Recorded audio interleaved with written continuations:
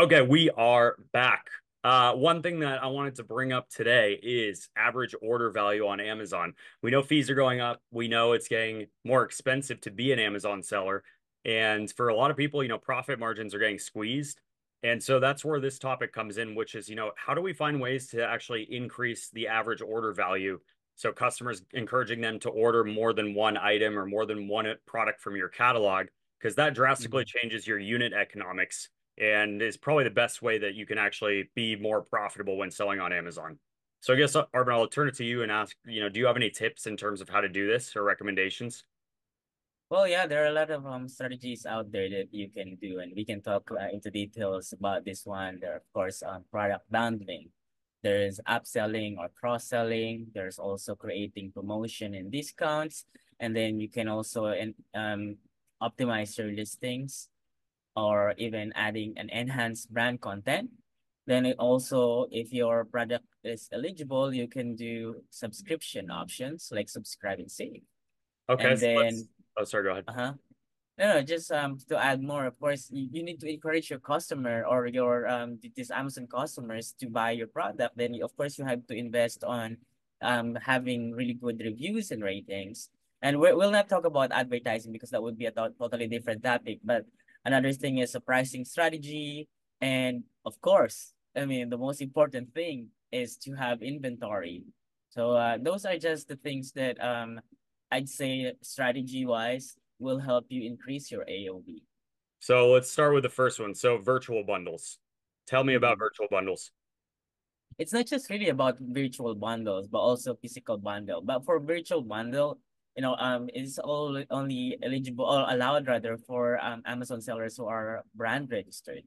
Mm-hmm. So, and then you can create this um, virtual bundle wherein you can combine one of your ASIN to another ASIN, making sure that both of them have an FBA inventory because if one of them ran out of stock, then the, the virtual bundle will also not work or the detail page of that one will not be visible. So right. you can do that. Um, but the, the the thing, the only thing that I would say about the virtual bundle is, to me, is as if you have to start from scratch because whatever review you have on your um two listings, it will not be merged on that virtual bundle. That's why I was saying earlier that maybe the option for you is to do the, the physical bundle because that physical bundle you can actually uh, merge them or put them into a variation with your child ASINs as a strategy for having more reviews.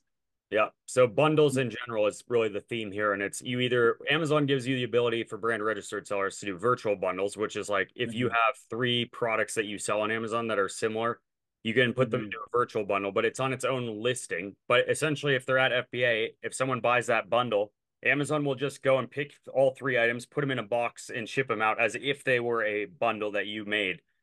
Mm-hmm, so that allows mm-hmm. you to just easily create a bundle without having to like repackage everything, you know, before you send it in. The alternative is to actually create a bundle, aka like put a do a two pack variation of a product.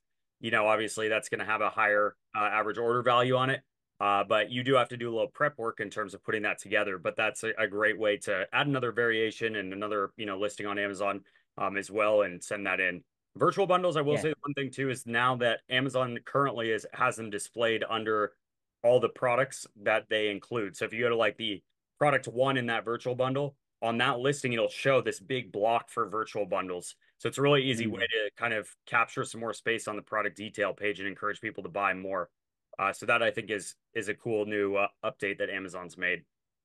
Yeah, I mean, just just going back to the uh, physical bundle, I I I call. I mean, to me, it's more on a strategy as well. And and I have this one uh, Amazon seller that um I talked to, because um one of his product is always being targeted by Amazon for um customer complaint, and from time to time, Amazon keep delisting them or deactivating them. And I suggested that why don't you offer this two pack as a physical bundle? So at least if that one pack got delisted because of this high return rate, then you can have this um another option with this the two pack to be available for your Amazon customers. So mm -hmm. that's just a, a strategy, but that's you know there are so many things to cover in just this just for this topic because uh because also you can play with prices in that. But let's move on to uh, right. the next one. Uh, so you want to go coupons uh -huh? and promotions?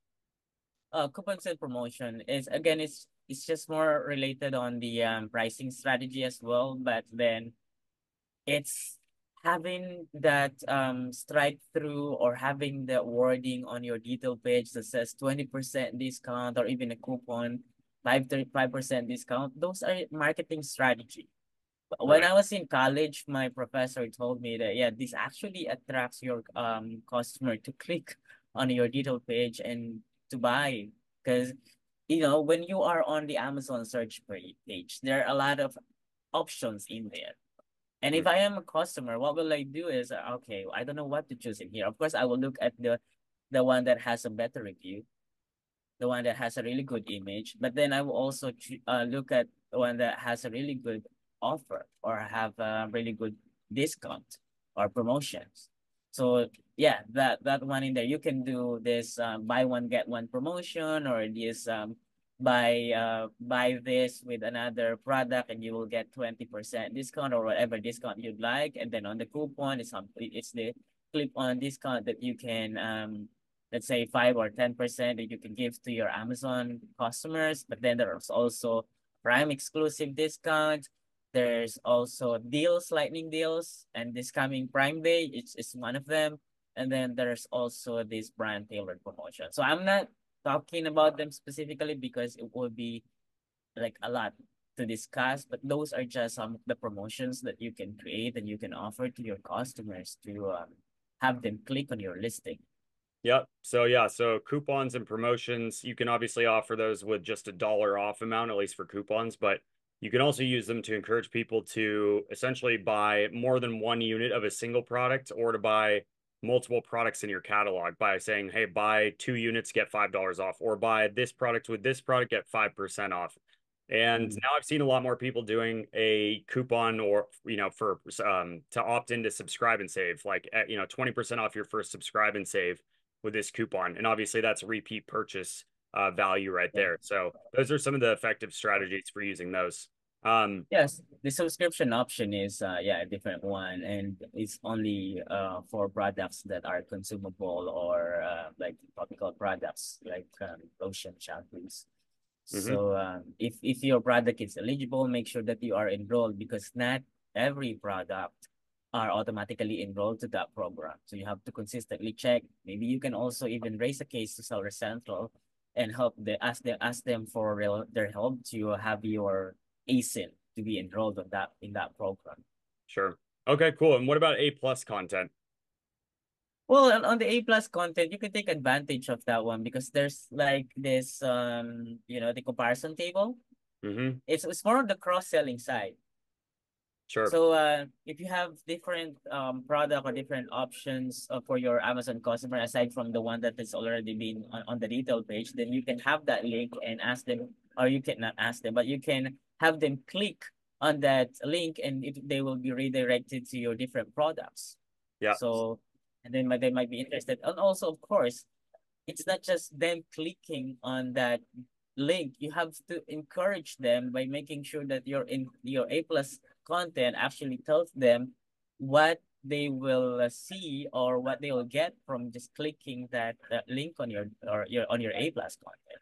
Yeah. So, but you can expose people to your other products in your catalog, which is a great way to at least try to encourage again them to maybe go look at them and add in multiple products to cart um, as well. So, what do we miss? Is there anything else you want to talk about? I know we we dove into a couple of them, but there's always more stuff out there. PPC is another great way you can run ads on your products, you know, for your other products, but we don't need to go deep on that. So, what is there anything else we should talk about though for this one? Yeah, well, like on the pricing strategy, uh, we, we haven't talked about these um, options, like for example, the business price. That mm-hmm. business price is actually something that you can mm-hmm. do to encourage more uh quantity purchase. Yeah, that's right? a good. So oh, okay, you know, but that's only for um, not not, not a normal customer, but you know, a business customer. Only a business customer can take that. Yeah, and I feel like I still have yet to hear about anyone who's actually gotten a ton of like value out of that. The business, like the business pricing and case pack like offers, but I'm sure there's someone out there who's crushing it. I just don't know of anyone. But still yeah. something to explore. Yeah, something to explore, of course. Cool. and then to me is uh, again if if you're going to uh, or, or your aim is to increase the AOV, making sure that you have enough inventory. Yeah, absolutely. So uh, yeah. Cool. But you can always have um uh, if you don't have any inventory in FBA or maybe this one another strategy, um making sure that you have two SKUs for your ASINs. Hmm. Why one would be for FBA and then the second would be for FBM so that if you run out of inventory for your FBA, you can activate the FBM listing right away to make sure that uh, you know, your customer can still buy from you because the moment that you run out of stock, it's not just losing sales, but also looking losing your organic rank. Yeah, absolutely. Good, cool. I mean, I think that covers some uh, really good strategies. Uh, if anyone else has any ideas that that have worked really well for them, let us know again in the comments. We're always uh, looking for you know stuff that you guys have done that's working super well. And if you have any questions about any of these strategies and want us to go deeper, also let us know in the comments. And otherwise, we'll put all of our contact info and just how you can reach out to us too, in case you have some questions or want to get in touch. All right, thanks, Arvin. Thanks, good... Ben. See ya.